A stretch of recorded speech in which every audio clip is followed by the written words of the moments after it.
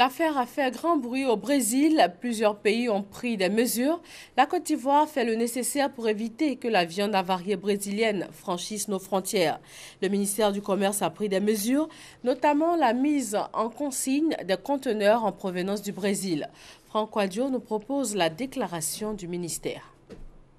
De la vente avariée et impropre à la consommation en provenance du Brésil vendue dans le monde par un réseau d'exportation récemment démantelé, l'information est confirmée par les autorités ivoiriennes.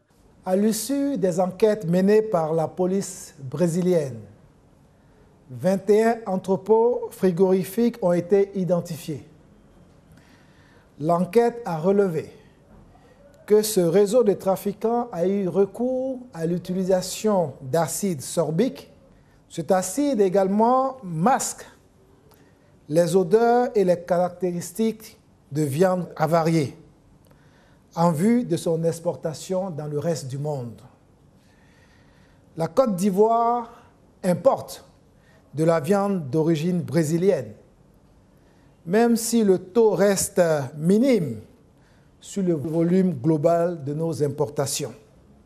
Au nombre des dispositions commerciales, les importations de viande sont désormais soumises à la production d'un certificat de qualité, un dispositif relatif aux nouvelles mesures conservatoires pour l'importation de la viande signé le 22 mars 2017, mais aussi des actions sur le terrain au nombre desquelles les importations de viande sont désormais soumises à la production d'un certificat de qualité délivré par un organisme international reconnu avant embarquement de la viande, le contrôle euh, systématique à toutes nos frontières de tous les conteneurs contenant de la viande en provenance du reste du monde.